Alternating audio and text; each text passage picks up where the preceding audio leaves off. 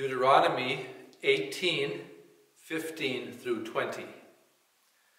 The Lord your God will raise up for you a prophet like me from among you, from your brothers. It is to him you shall listen, just as you desired of the Lord your God at Horeb on the day of the assembly, when you said, Let me not hear again the voice of the Lord my God, or see this great fire any more, lest I die. And the Lord said to me, They are right in what they have spoken. I will raise up for them a prophet like you from among their brothers. And I will put my words in his mouth, and he shall speak to them all that I commanded him. And whoever will not listen to my words that he speaks in my name, I myself will require it of him. But the prophet who presumes to speak a word in my name that I have not commanded him to speak, or who speaks in the name of other gods, that same prophet shall die. 1 Corinthians 8, 1 through 13. Now, concerning food offered to idols, we know that all of us possess knowledge. This knowledge puffs up, but love builds up. If any anyone imagines that he knows something, he does not yet know it as he ought to know. But if anyone loves God, he is known by God. Therefore, as to the eating of food offered to idols, we know that an idol has no real existence and that there is no God but one. For although there may be so-called gods in heaven and on earth, as indeed there are many gods and many lords, yet for us there is one God, the Father, from whom all things and for whom we exist, and one Lord, Jesus Christ, through whom are all things, and through whom we exist. However, not all possess knowledge, but some, through former association with idols, eat food as really offered to an idol, and their conscience, being weak, is defiled. Food will not commend us to God. We are no worse off if we do not eat, and no better off if we do. But take care that this right of yours does not somehow become a stumbling block to the weak. For if anyone sees you who have knowledge eating at an idol's temple, will he not be encouraged, if his conscience is weak, to eat food offered to idols? And so by your knowledge, this weak person is destroyed, the brother for whom Christ died. Thus, sinning against your brothers and wounding their conscience, when it is weak, you sin against Christ. Therefore, if food makes my brother stumble, I will never eat meat, lest I make my brother stumble. Fourth Sunday after Epiphany Gospel is Mark 1 21 through 28. And they went into Capernaum, and immediately on the Sabbath, he entered the synagogue and was teaching. And they were astonished at his teaching, for he taught them as one who had authority, and not as the scribes. And immediately there was in their synagogue a man with an unclean spirit. And he cried out, What have you to do with us, Jesus of Nazareth? Have you come to destroy us? I know who you are, the Holy One of God. But Jesus rebuked him, saying, Be silent, and come out of him. And the unclean spirit, convulsing the man and crying out with a loud voice, came out of him. And they were all amazed, so that they questioned among themselves, saying, What is this? A new teaching with authority. He commands even the unclean spirits, and they obey him. And at once his fame spread everywhere throughout all the surrounding region of Galilee. Let's pray. Father, we pray that as we meditate in your word, you will open it to us that we might see Jesus. We ask in his precious name. Amen. It might be easy to get sidetracked while we consider our texts today. For example, we might spend a good amount of time wondering how to apply this, what to us seems an odd situation in Corinth, how we apply that situation to us today. What is our equivalent to eating meat sacrificed to idols? Now, that's a worthy pursuit, and it would be good for us to consider that. But maybe that's not where the texts today really take us.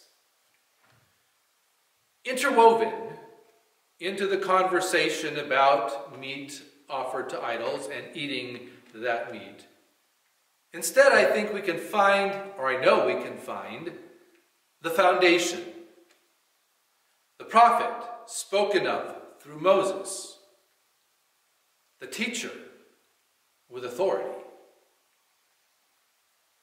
Let's sift through then our Corinthian lesson and see the foundation. At some point, and maybe in another circumstance, it's good for us to consider our behavior. And we will talk a little bit about how it is we respond to the foundational truths that Paul presents to us, that the Holy Spirit presents to us, inspired in Paul's writing.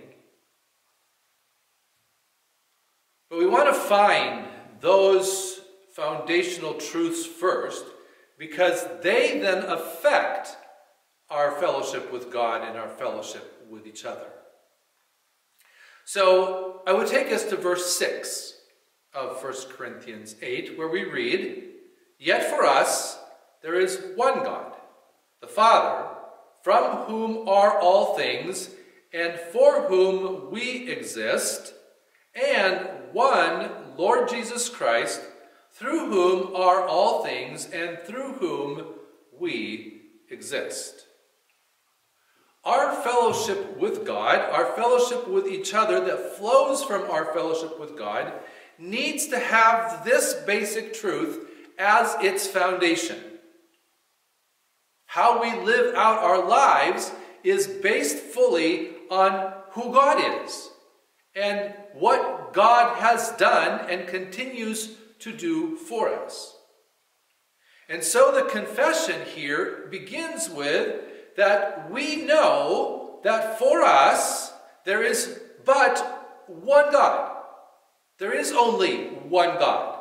So, in the context of 1 Corinthians 8, it really is nothing if people are eating food sacrificed to idols because in reality they are not a true God.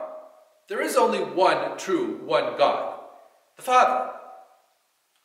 And then, in parallel to that, we recognize that there is only one Lord, Jesus Christ.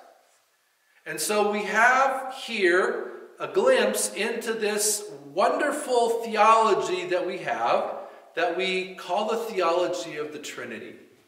Now, the Holy Spirit isn't specifically mentioned here, but we begin our understanding of who God is by knowing that the Father and the Son, that the Father and Jesus Christ are the same God.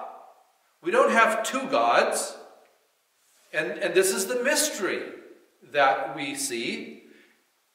And the clue here to this unity of the Father and the Son is in that from both and through both are all things and that from both and through both we have our very existence. We don't have two creators, we have one creator. And so, in this mystery of Scripture, we have this foundational truth that we have one God. We call him the Father. that we have one Lord. We call him Jesus Christ. But we do not have two gods. We have only one, one God.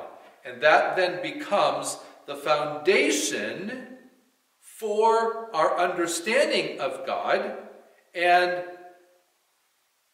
leads us simply to accept this mystery. A mystery, then, that is played out for us in the incarnation, in the epiphany,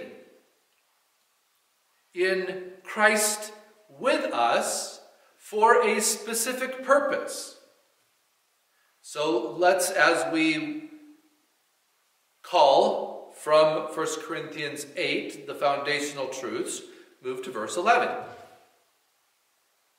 It reads, And so, by your knowledge, this weak person is destroyed, the brother for whom Christ died.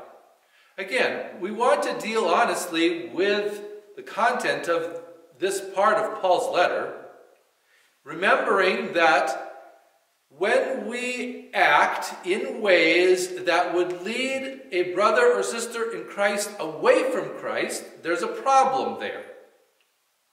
But in order to understand that problem, or that there is a problem, again, we need to find the foundation. So it's important that we not get distracted by the so by your knowledge this weak person is destroyed part of verse 11. It's a truth, and we don't want to ignore it, but we want to first see the foundational truth that's in that verse. And so instead of focusing on the knowledge that we have, that by acting on it might be detrimental to the faith of a believer, of a brother or sister in Christ, or a non believer for that matter. The focus here and the foundational truth here is that we are to think first of our brother or sister, of others, and, and in this context, it is other believers, but certainly as we live out our life in this world, how we live is also seen by unbelievers. And we ought to be careful about how we live in the view of unbelievers. And so our thinking here is not about ourselves first, but about others. And our thinking about others is in the context of the end of verse 11 and the words, for whom Christ died. Why ought we be concerned about the spiritual welfare of others? Because Christ died for them.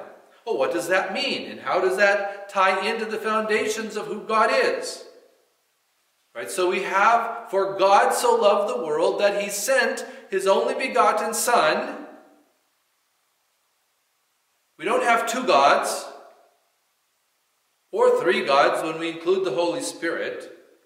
We have one God the Father, one Lord Jesus Christ, and in the mystery of the Trinity, the second person of the Trinity came to us, became one of us, with the very purpose of dying. And not just of dying, but of dying the death we deserve. The sentence against us, because we have broken and continue to break God's law, because we are lawbreakers at the core of who we are, is death. Not just the death of the body, and certainly not annihilation. We are not annihilists. We do not believe that after this death we simply cease to exist. That is certainly not a biblical teaching. And so when we say death, we are really talking about our eternal existence. And a death in the eternity is not that our spirits or even our bodies do not exist, but that they exist separated from God. That is the true death. And when we live out our life in the world, we need to be constantly remembering that our witness to the world, to our brothers and sisters in Christ, but also to the world, is seen. And so we need to be thinking of the other for whom Christ died.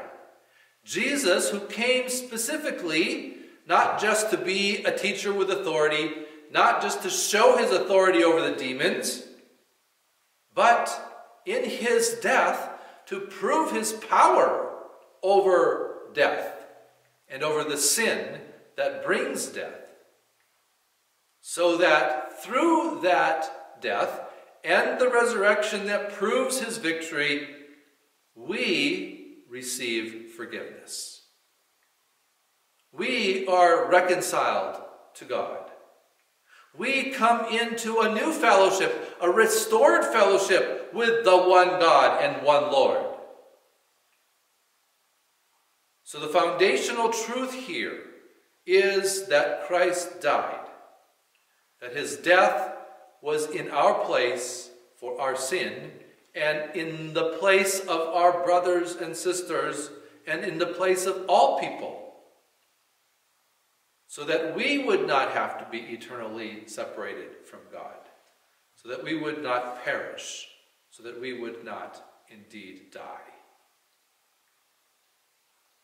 Well, this has a profound effect in how we understand God and live in fellowship with God, and in how we understand our neighbor and live in fellowship with our neighbor. And we see that in verse 12 of 1 Corinthians 8. Thus, sinning against your brothers and wounding their conscience when it is weak, you sin against Christ. So ultimately, when we act selfishly, in whatever manifestation in life that is, we are not only hurting our brothers and sisters in Christ, or even those in the world who, for whom Christ died, but we are sinning against Christ himself. And so then we are reminded of the words that Moses spoke to the people. The context of our Deuteronomy reading is the people of Israel are ready to go into the promised land. They have spent 40 years in the wilderness uh, being punished for their disobedience, but now they are ready to go into the land that God has promised them. And Moses is reminding them before he sends them across the Jordan River into the promised land of how 41 years earlier at the mountain, God had spoken to them and appeared to them in fire and brought about great fear among them. So that they asked Moses, or God through Moses, for a speaker rather than God speaking directly to them. And so, as Moses reminded them of those events, he prophesied about Jesus. The Lord your God will raise up for you a prophet, like me from among you, from your brothers. It is to him you shall listen. And then the warning that there are dire consequences for those who do not listen. And so when we consider our fellowship with Christ, and our call to not sin against Christ, we are reminded that that has to do with listening to the prophet that God raised up. And we see that also in Mark. In our gospel today, in verse 27, we read the reaction that the people had when Jesus cast the demon out of the demon possessed man.